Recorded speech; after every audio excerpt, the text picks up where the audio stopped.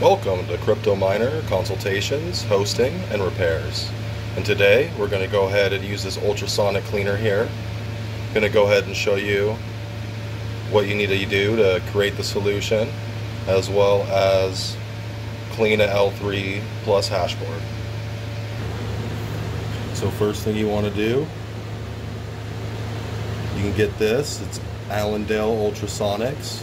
It's flux remover for ultrasonic cleaners. And you have to do one part solution of this bottle. It's one liter.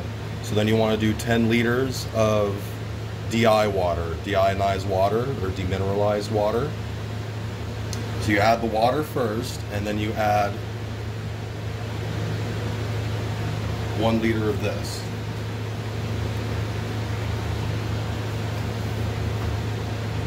Then once you have done that, then you want to take your take some you can take some Branson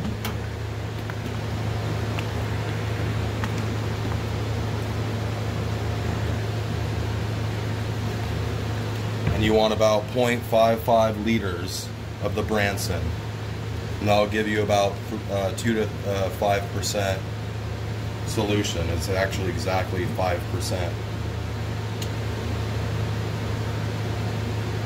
So then what you do is is you want to go ahead and set your ultrasonic cleaner to 69 degrees somewhere around uh, 50 to 70 and then you can go ahead and set the timer once the temperature has gotten to where it needs to go for about two to three minutes Alright, now we're going to go ahead and put the L3 hash board in. Make sure that you have your temperature up to 50 degrees or better.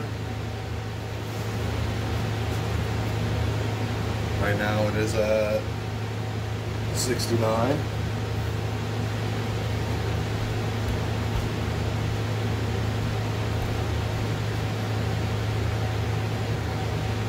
And the current temperature right now is 62 degrees Celsius. And make sure to wear gloves.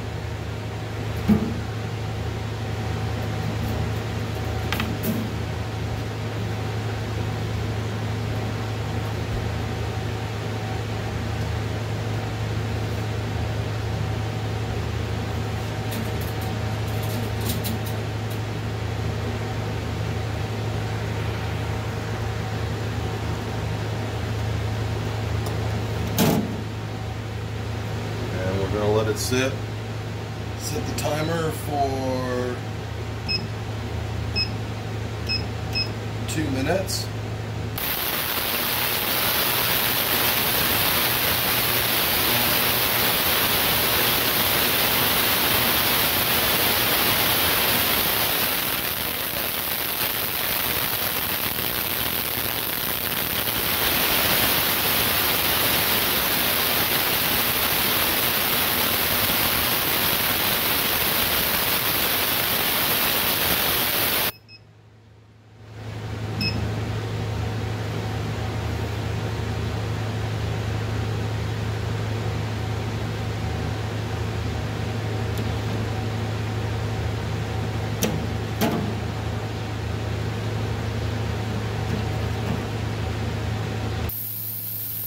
Let them to set for dry.